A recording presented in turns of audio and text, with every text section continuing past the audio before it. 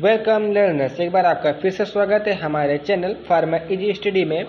आज हम cover up करेंगे फार्मास्यूटिकल ऑर्गेनिक केमिस्ट्री सेकेंड का aromatic topic aromatic acid are those compound which attach the carboxylic acid group with aromatic ring मतलब aromatic acid ऐसे compound होते हैं जो कि एक एरोमेटिक रिंग से कार्बोक्सिलिक एसिड ग्रुप कंटेन किए होते हैं।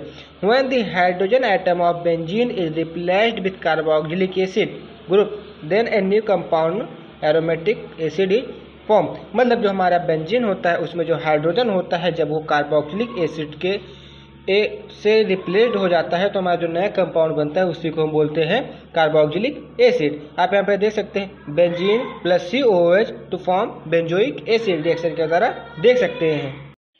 कुछ एग्ज़ाम्पल देख सकते हैं, जैसे बेंजोइक एसिड ऑर्थो पोजीशन पे हमारा ओ एच जुड़ा हुआ है, इसलिए ortho hydroxo benzoic acid ortho position पे हमारा एमाइनो ग्रुप जुड़ा हुआ है तो ऑर्थो एमाइनो बेंजोइक एसिड हमारा ऑर्थो और मेटा पोजीशन पे कार्बोक्सिलिक ग्रुप जुड़ा हुआ है तो ये फैलिक एसिड हो जाएगा।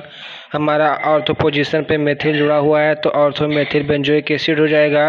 हमारा मेटा पोजीशन पर नाइट्रो ग्रुप जुड़ा हुआ है तो मेटा नाइट्रो बेंजोइक एसिड हो जाएगा।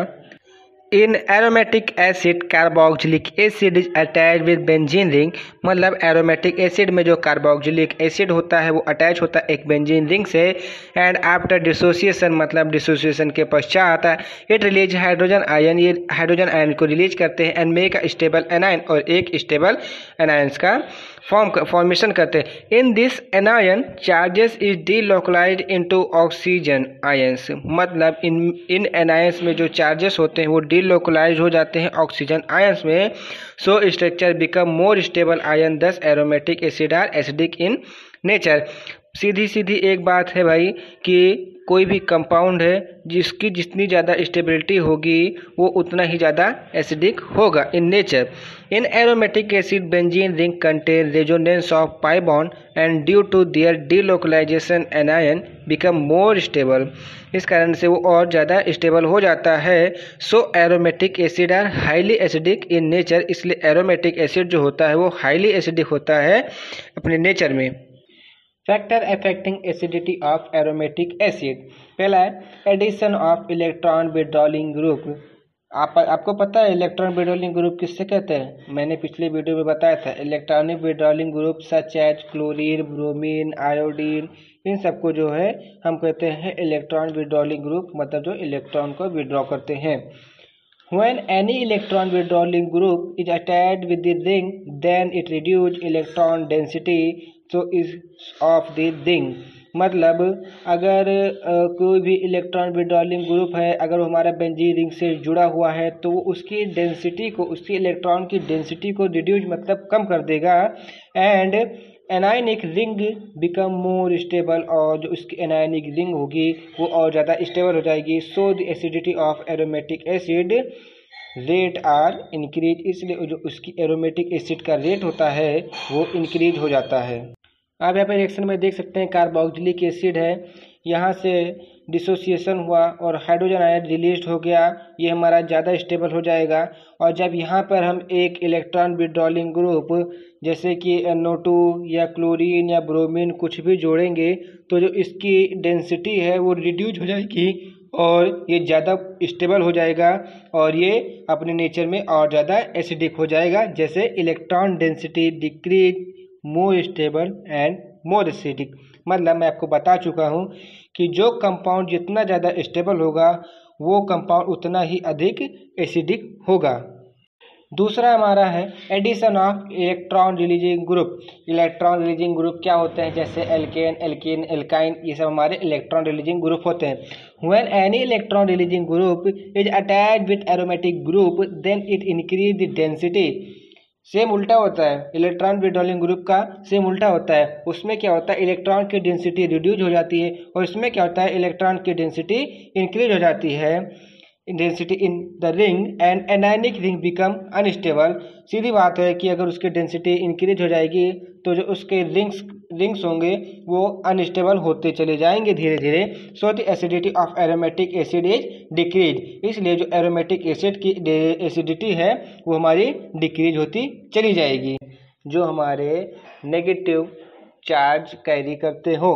When any electronegative atom or group is attached with benzene ring in aromatic acid मतलब कोई भी इलेक्ट्रोनेगेटिव एटम और ग्रुप जब बेंजीन रिंग से अटैच होता है in aromatic acid and pull the electron from benzene ring और उसमें से हमारे जो इलेक्ट्रॉन होते हैं बेंजीन रिंग पे, उनको पुल करने लगता है and the ring after reducing electron density सीधा मतलब है कि वहाँ पर हमारी इलेक्ट्रॉन की डेंसिटी जो होगी, वो रिड्यूज हो जाएगी। और जैसा कि हम जानते हैं एज पर रूल कि अगर उसकी डेंसिटी हमारी इलेक्ट्रॉन की डेंसिटी हमारी अगर रिड्यूज होगी तो हमारा कंपाउंड उतना ज़्यादा एसिड एसिडिक होता चला जाएगा।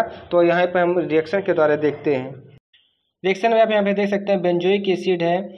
ये हमारा हाइड्रोजन आयन रिलीज़ किया। ये हमारा अभी तक स्टेबल है, लेकिन जब हम इसमें इलेक्ट्रॉन रिलीजिंग ग्रुप ऐड कर देंगे, जैसे सी एस थ्री मेथिल हमने ऐड कर दिया, ये धीरे धीरे हमारा अनस्टेबल होता चला जाएगा और इसकी जो इलेक्ट्रॉन डेंसिटी है, वो इंक्रीज होगी और ये हमारा लेस स्टेबल होगा। अगर हमारा लेस स्टेबल होगा तो इसका मतलब ये हमारा लेस एसिडिक भी होगा एज पर रूल रिएक्शन पे हम देखते हैं कि हमारा ऑर्थो पोजीशन पे इलेक्ट्रोनेगेटिव ग्रुप एक्स जुड़ा हुआ है। ये जब हमारा हाइड्रोजन आयन को रिलीज़ करेगा तो ये हमारा मोर स्टेबल हो जाएगा। हमारा यहाँ पे मोर स्टेबल हो जाएगा, क्योंकि इसकी इलेक्ट्रॉन डेंसिटी जो है, वो रिड्यूज हो जाएगी। सीधा कहने का मतलब है मोर ई मतलब more electronegative is proportional to more acidic अब यहाँ पर देख लेते हैं ortho fluoride benzoic acid is greater than ortho chloride benzoic acid, ये हमारा ऐसे ही एसिडिटी ऑर्डर चला जाता है। आइए हम इसके प्रिपरेशन मेथड देख लेते हैं। Method of preparation of aromatic acid, पहला हमारा क्या है? Oxidation of benzene chloride. सीधी बात है भाई ऑक्सीडेशन अगर बेंजीन क्लोराइड का करेंगे तो हमको ए, हमको जो प्राप्त होगा वो एसिडिक एसिड ही प्राप्त होगा। Oxidation of benzyl chloride with acidic potassium permanganate और सोडियम डाइक्रोमेट हम किसी से भी रिएक्शन कराएँगे तो हमारा बेंजोइक एसिड ही बनेगा। तो यहाँ पे देख लीजिए बेंजिन क्लोराइड है C S two C L benzene ring in the presence of water हमारा ये क्या करेगा? बेंजिन एल्कोहल फॉर्म करेगा। क्योंकि यहाँ पे हमारा वाटर मॉलिक्यूल जुड़ा हुआ है। वाटर मॉलिक्यूल का एक ओ OH हमारा सी एस टू के साथ जुड़ जाएगा और हमारा क्या बन जाएगा? बेंजिल एल्कोहल और जब बेंजिल एल्कोहल को हम पोटेशियम पर मैग्नेट एसिडिक पर पोटेशियम पर मैग्नेट के साथ रिएक्शन कराते हैं तो हमारा क्या बन जाता है? बेंजोइक एसिड बन जाता है।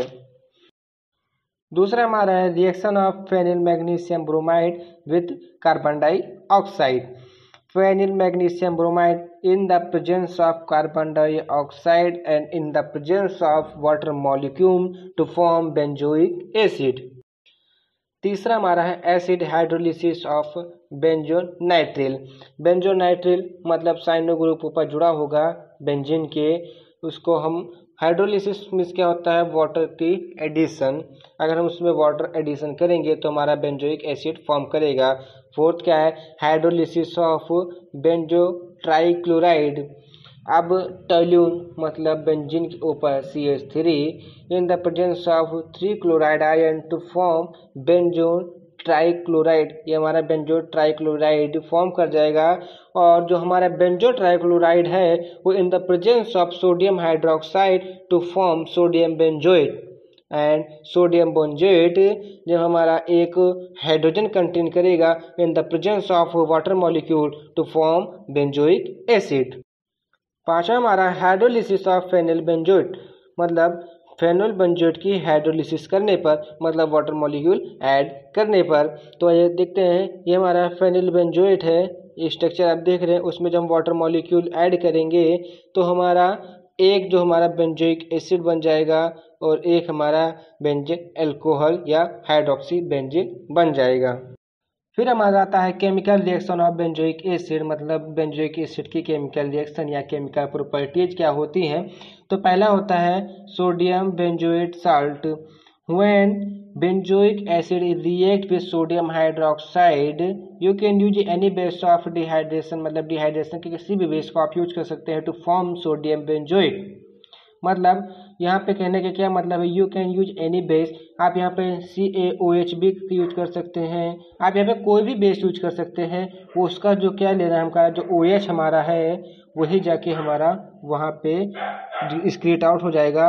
और जो हमारा कैल्शियम होगा या सोडियम होगा, वो जाके बेंजीन के साथ अटैच हो जाएगा। तो आप यहाँ पे देख सकते हैं benzoic acid plus sodium hydroxide to form sodium benzoate and water molecule release हो जाएगा।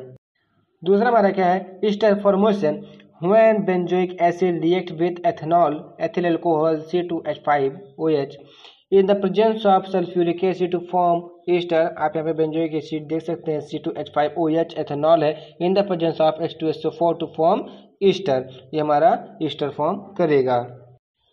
Formation of acyl halide acyl halide का formation when benzoic acid react with phosphorus pentachloride to form benzoyl halide and give phosphoric chloride and H आप यहाँ पर देख सकते हैं benzoic acid and P C L five मतलब phosphorus pentachloride to form benzoyl chloride पांचवा हमारा आता है decarboxylation when benzoic acid react with sodium hydroxide in the presence of calcium oxide after decarboxylation मतलब उसका डिकार्बोलेशन मतलब कार्बोक्सिलिक एसिड या carboxylic group हट जाता है। It form benzene and release C A C O three दोस्तों, अगर आपको वीडियो अच्छी लगे हो तो लाइक कीजिए शेयर कीजिए एंड चैनल को सब्सक्राइब कीजिए और थोड़ा सपोर्ट भी कीजिए। Thanks for watching